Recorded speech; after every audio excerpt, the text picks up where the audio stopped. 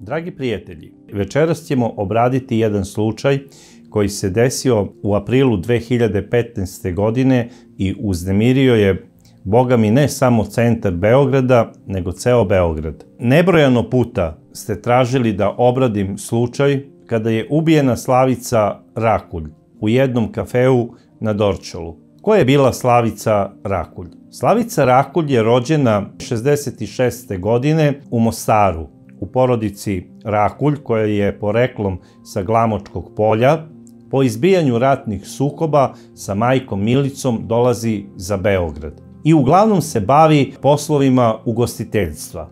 Zapravo prvo je kelnerisala da bi posle desetak godina postala i menadžer nekih objekata. Jedan od tih objekata upravo je bio i objekat gde se desio ovaj slučaj, kafeterija Fraći, koja se nalazi u najstrožem centru Beograda, ugao Francuske ulice i Strahinjića bana. Vlasnik ovog poznatog ugostiteljskog objekta je Aja Jung, naša poznata balerina.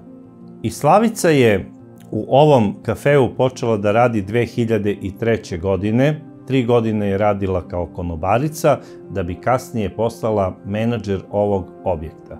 Slavica je bila jako odgovorna, vredna i pedantna osoba. Vodila je, znači, knjige svojoj gazdarici, nabavljala je piće, e, znači, organizovala je proslave raznih rođendana, ručkove i tome slično. Sve što ide, znači, kao onako malo VIP varijanta u ovom objektu. Slavica je živela sama sa majkom, Milicom, nikad se nije udavala i nije imala dece. Šta više, njeni najbolji prijatelji prosto i ne pamte da je ona nekad bila u nekoj ozbiljnoj vezi sa nekim mladićem. Uglavnom je znači bila posvećena poslu i sve što se dešavalo, dešavalo se tu u tim objektima gdje je ona radila. U jednom od takvih objekata ona je imala i jednu prijateljicu sa kojom je posebno bila onako bliska i prema kojoj nikada nije imala nikakve tajne. Ona se zove Verica. Inače je poreklom iz Crne Gore. U nekom trenutku Slavica je odlučila da iznajmi stan bliže poslu i da bi lakše plaćala te dažbine, kirija i tome slično, ona je u istom stanovala sa svojom prijateljicom. Njih dve su ovako uvek pričale o svemu i tome slično, imale su dovoljno vremena, jer e, i ta njena prijateljica nije bila udata, a bavila se isto ugostiteljstvom. Nisu imale nikakvih tajni jedna od druge, čak su i putovale zajedno, odlazile na vikende i tome slično. Sredinom 2014. godine, ne znam iz kog razloga, došlo je do velike svađe između njih dve. Da li je to zbog nekog propusta na poslu, ja to ne znam, ali njih dve su se posvađale i odlučile su više da ne žive zajedno. Slavica se znači vraća kod svoje mame, počinje tamo da živi, a ubrzo posle tih dešavanja Slavica u svom kafeu upoznaje i jednog gospodina koji je bio u kasnim 40. godinama, imao je 49 godina, bio je godinu dana stariji od nje. Inače, taj gospodin je bio pod izvođač kod nekih preduzimača. Radio je neke finalne stvari, da li je to u pitanju solarija ili keramika, zavisno od onoga što se tražilo. Imao je nekoliko grupa svojih majstora, uglavnom iz crne trave, odakle je i vodio poreklo. A o kome se zapravo radi? Radi se u stvari o Goranu Milanoviću, koji je živeo i radio u Beogradu. Rođen je 1966. godine i bio je slobodan čovek, znači nije bio oženjen i nije imao dece u tom trenutku. Bio je onako markantna osoba i dopadao se ženama. Goran je inače imao više tih ozbiljnih veza, međutim kako je govorio svojim prijateljima, sve su ga nešto jako, jako razočarale u životu. I oni koji su ga dobro znali, Govorili su kako se bio i zarekao da više nikada do kraja života neće imati ni jednu ženu. I to se promenilo onog trenutka kada je on upoznao Slavicu. Njega je primetila i Slavica u tom trenutku, jer je bio vrlo komunikativan i galantan. Znao je, znači, da časti konobare, znao je da bude onako pravi laf i počeo je prvi kontakt između Slavice i Gorana i oni su počeli zabavljanje. Zabavljali su se sve do februara iduće godine, znači do februara 2015. godine. I od samog početka ove veze ovde nešto nije funkcionisalo. Međutim, Goran to nije sebi hteo da prizna, jer on je previše idealizovao Slavicu i smatrao je osobom koja je u stvari rođena da bi mu bila životni saputnik.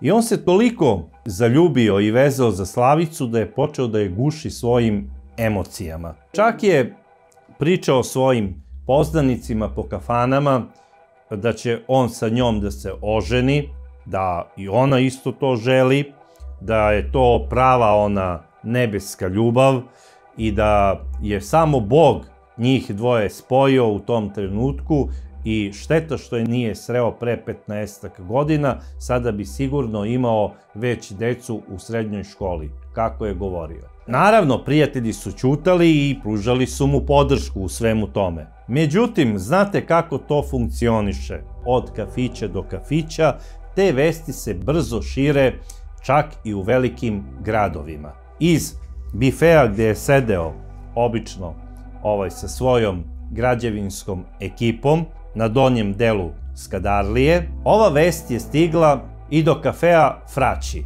I kolege su Slavicu pitale, Slavice, da li se ti to udaješ? Onda kaže, ma ne, otkud vama to?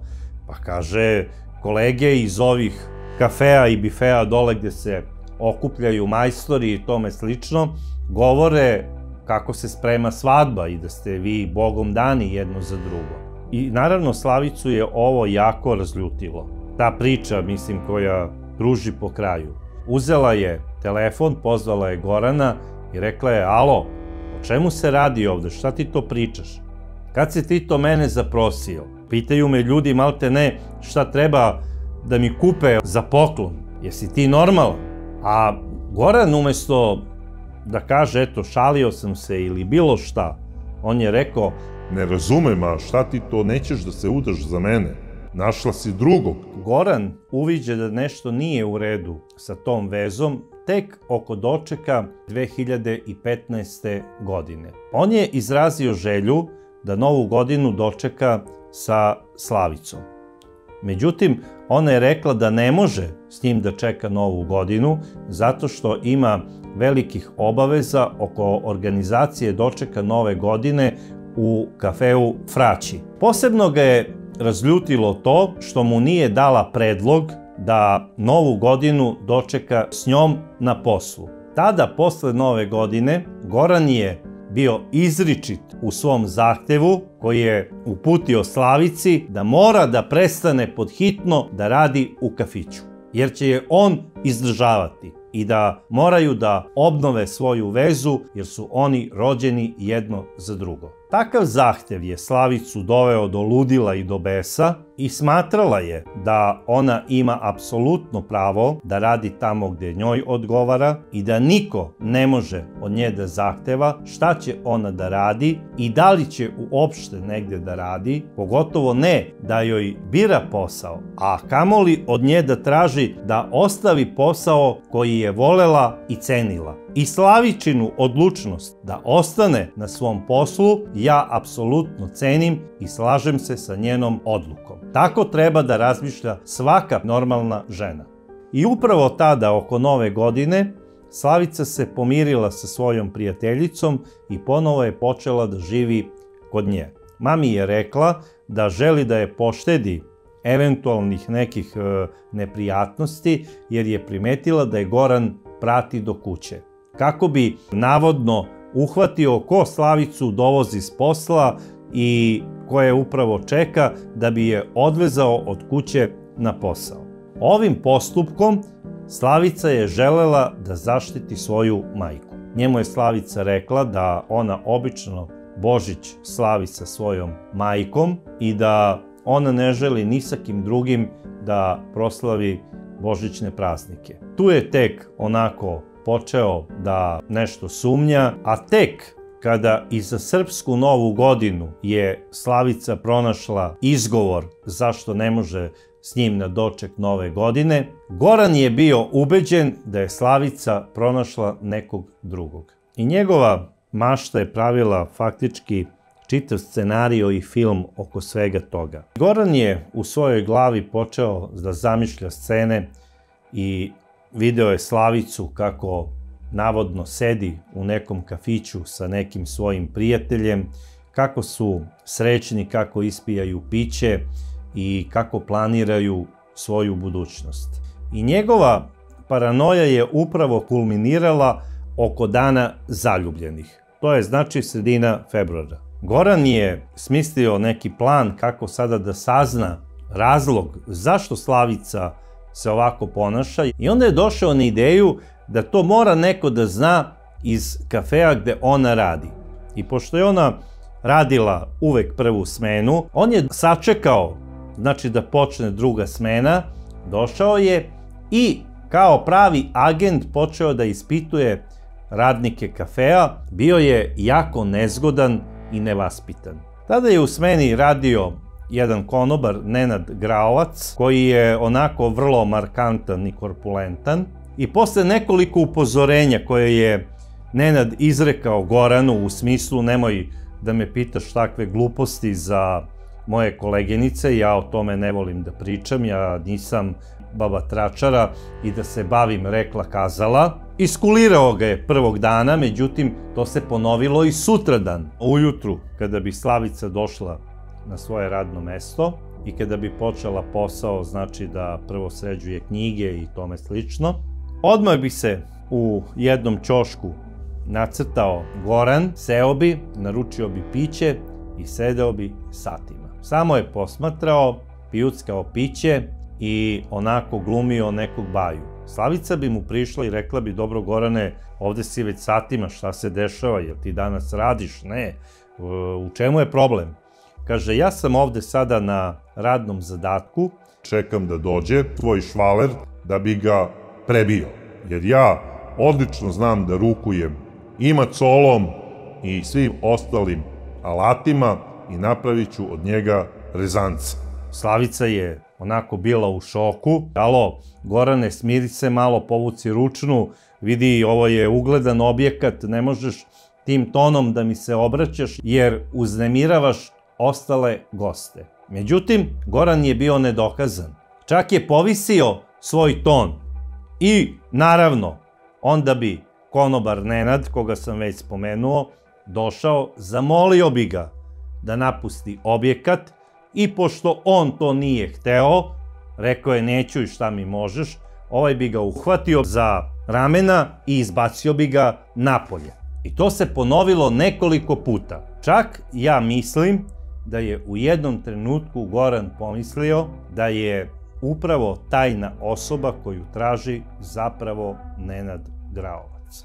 Jer smatrao je zašto bi se on ovako zaštitnički ponašao prema Slavici ako nije sa njom u nekoj šemi.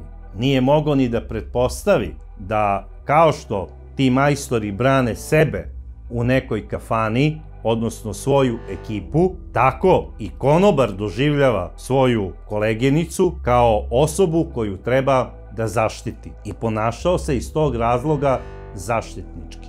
I svaka mu čast. Tako, u stvari, treba da se ponaša svaki normalni muškarac. Zaštitnički kada su koleginice u pitanju. Zapravo, tako se ponašaju kavaljeri i pravi muškarci čak i ako ne poznaju ženu koju treba da zaštite. Neka je to i gradski prevoz, recimo u autobusu. Prošao je februar, došao je i mart, a Goran je i dalje bio u paranoji. Izigravao je nekog detektiva, jurio je neke navodne i zamišljene ljubavnike, bio je posvećen samo tome, umesto da se bavio svojim poslom. I tomu se, bogme, obilo o glavu, jer preduzimač koji ga je bio angažovao da radi neke poslove oko renoviranja jedne škole u blizini, dao mu je otkaz. Naime, kompletni posao koji je bio pogodio sa svojom ekipom zbog Goranove neažurnosti propao je. I Goran je morao da napusti ovo gradilište. Radilo se zapravo o vrlo dobro plaćenom poslu i govorilo se da je cifra bila između 10 i 15 hiljada eura. I sada je Goran i zbog gubitka tog posla počeo da krivi Slavicu. Čak je javno govorio kako mu sada ona duguje 15.000 eura jer je navodno on to izgubio zbog nje. On nije objašnjavao ljudima kojima je pričao razlog zašto njemu Slavica duguje taj novac. Ova žena od njega nije uzela ni jedan dinar, ali je on smatrao da je sada ona u obavezi da mu nadoknadi ono što je on izgubio na poslu, svojim neangažovanjem. I to njegovo samoobmanjivanje je postajalo sve gore i gore. On je postao, znači, pravi pacijent. Početkom marta Goran je došao u kafić gde je Slavica radila i pred mnogim svedocima joj je uputio pretnju. Završit ćeš ti u kontejneru. I pokazao je rukom baš u pravcu gde je zaista u toj ulici postoje kontejneri. Slavica je ovo shvatila normalno kao pretnju i pozvala je policiju, u čemu su je kolege i podržale. Došla su dva policajca, obavili su razgovor sa Slavicom i sa radnicima i došli su po svom mišljenju do zaključka da tu nema elemenata da se pokrene neki ozbiljan postupak, jer to završit ćeš u kontejneru ne mora da znači da je on uputio pretnje opasne po život. Jer je možda mislio u onom smislu kako je tada vođa patrole rekao, bit ćeš ti klošarka pa ćeš spavati u kontejneru. Znate, oni znaju ponekad i da se bave filozofijom. I pitali su Slavicu, a da li vam je on uputio neke ozbiljne uvrede pred svedocima ili nije? I Slavica je rekla, pa nije, rekao je samo završit ćeš u kontejneru. I oni su otišli. Rekli su morat ćeš da dođeš to lično da prijaviš u dežurnu službu i naravno ona je to sutra dan i prijavila. Međutim, dve nedelje posle toga Slavici stiže sa Goranovog broja SMS poruka koja doslovce kaže ovako. Spakovaću te u kese. I naravno, šta je žena mogla da pomisli u tom trenutku kada čita takvu poruku?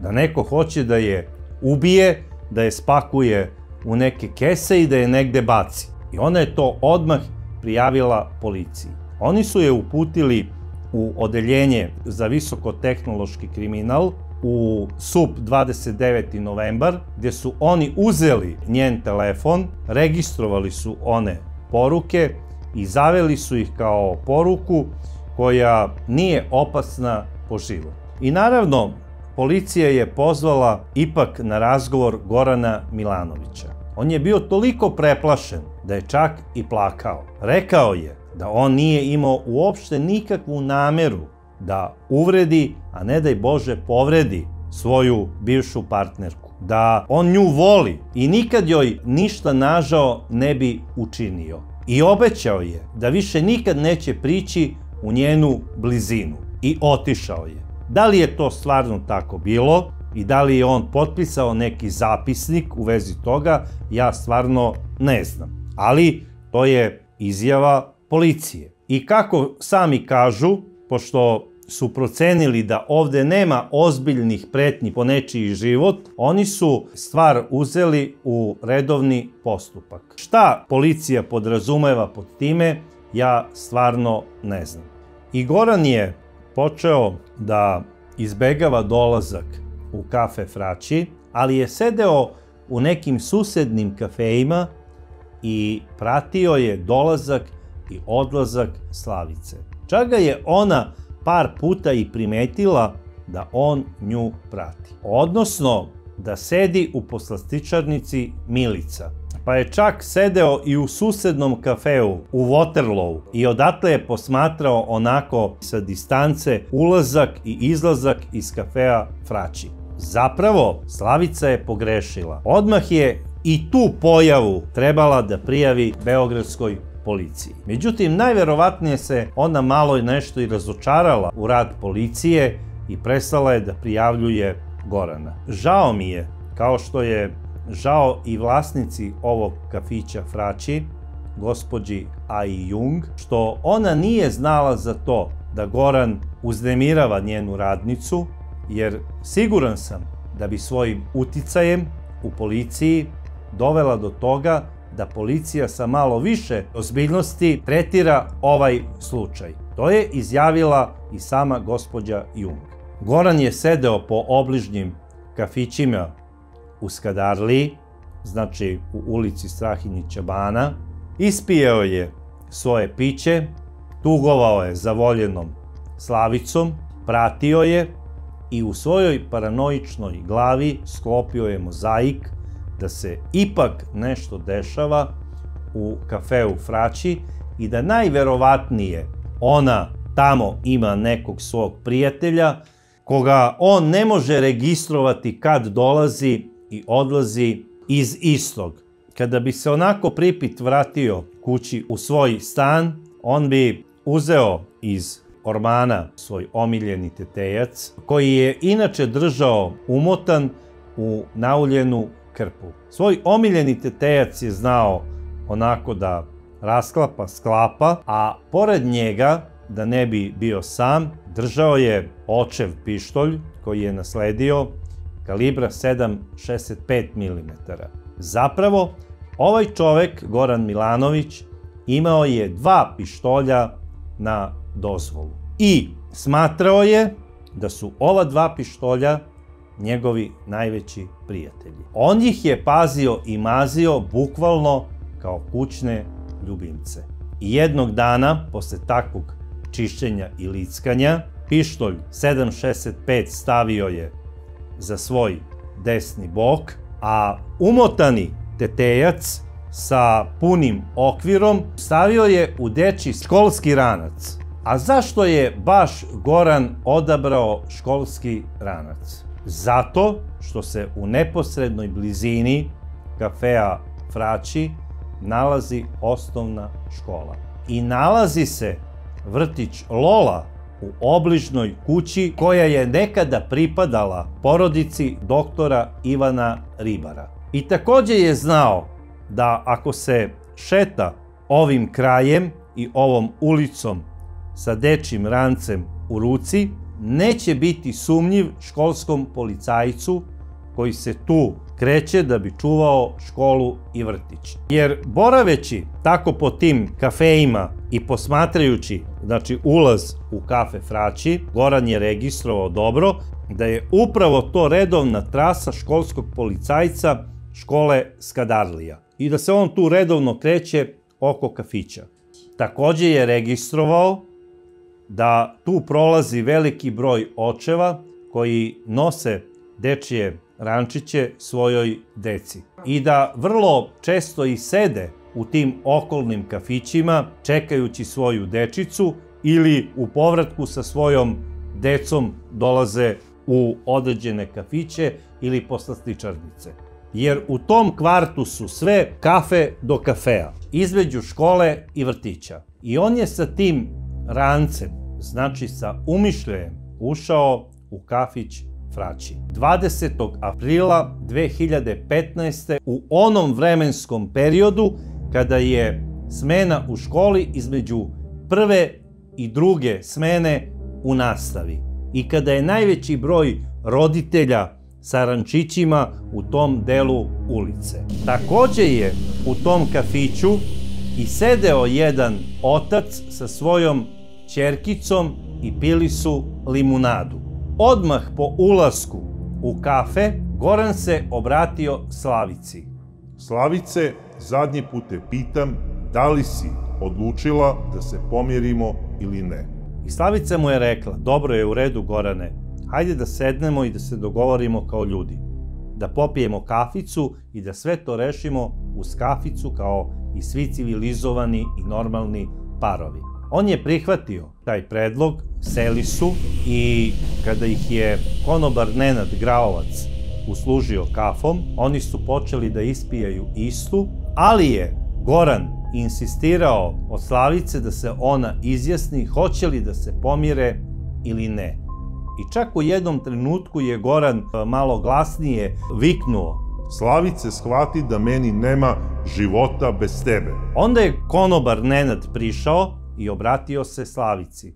Rekao je Slavice, da li treba da pozovem policiju ako imaš nekih problema. Goran je onda ustao i rekao je, slušaj ti, Palavče, nemoj da se mešaš, ovo je naša priča. I dok je Nenad odlazio, znači, ka šanku, Goran je nešto šapnuo Slavici, što je nju nateralo da ustane od stola i da se isto uputi ka šanku. Šta je on zapravo njoj tačno rekao, to su samo njih dvoje znali. Ali ja pretpostavljam da je to ona namazana fora. Ako ne želiš da se pomiriš sa mnom, ja sam poneo pištolj i sada ću se ubiti ovde pred tobom. I pretpostavljam da je Slavica zbog toga otišla ka Šanku da bi uzela telefon i da bi pozvala policiju. I kada je Slavica došla do Šanka, Goran je viknuo. Slavice, ja ne mogu da živim bez tebe. Otvara deči ranac i iz njega vadi pištolj umotan u nauljenu krpu. Prilazi Šanku i isti pištolj je uperio u stomak konobara Nenada Graovca. Ovo je viknuo šta radiš to budalo i mahinalno se okrenuo da bi uzeo barsku stolicu sa namerom da udari Gorana po rukama i da mu izbije pištolj. Međutim, u tom trenutku čuje repetiranje pištolja i pucanje. Goran je imao nameru da prvo puca u Nenada Graovca. Međutim, nije bio repetirao pištolj i nije mogao da izvrši opaljenje. A onda kada je repetirao pištolj, i straha da ne bi sada Slavica pobegla, počeo je da puca u njena leđa. Ispalio je tačno četiri metka, a onda se okrenuo i otrčao u WC i tamo se zaključao. Nenad Graovac je odmah bacio onu stolicu, istrčao napolje i uputio se ka 50 metara udaljenoj grčkoj ambasadi, pošto je znao da tamo ima uvek policije i da bi prijavio slučaj policajcu. U kafiću je sedeo i otac sa detetom koji je sve to posmatrao. Devojčica je počela da vrišti i istrčala je na ulicu. Otac je istrčao za njom i odmah je uzeo telefon i pozvao hitnu pomoć i policiju. Naravno, i policajac iz grčke ambasade je već obavestio policiju i hitnu pomoć da se nešto strašno desilo u kafiću Fraći. U tom trenutku čuje se i peti pucanj iz kafića.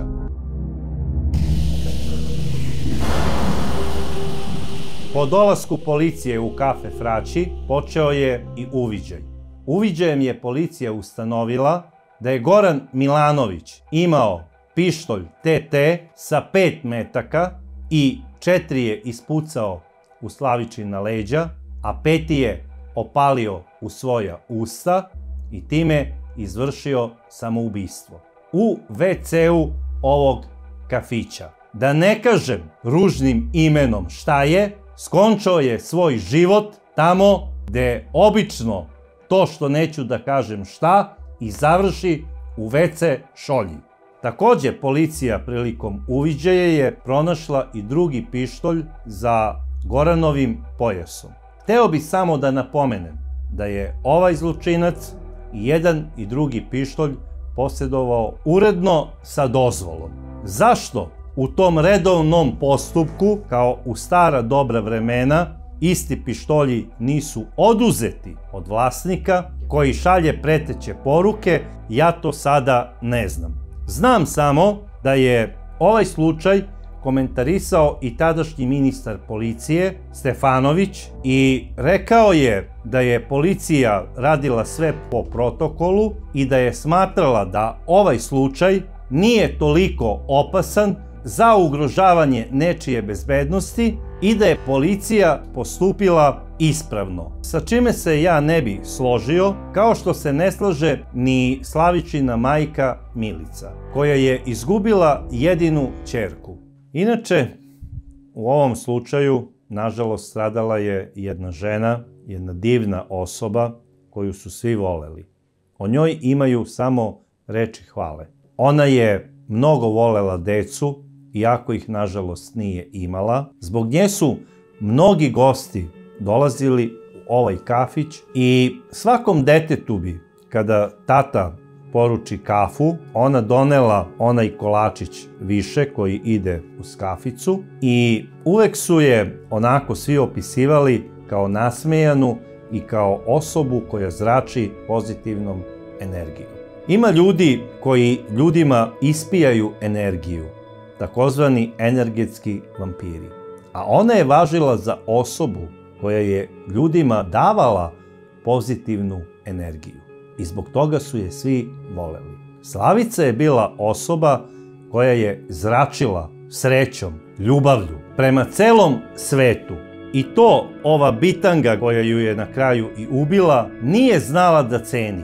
Goran je zapravo jedan sebični, posesivni psihopata koji apsolutno ništa što je pozitivno na ovom svetu, a što su nosile i zračile žene, nije znao da ceni i voli. I on je zapravo ovu ženu hteo da zarobi u svom stanu u Zemunu i da od nje napravi ne samo svog e, partnera za život, nego energetskog i ekonomskog roba, koja od njega zavisi. I sram ga bilo zbog toga. A za žene imam jedan savet.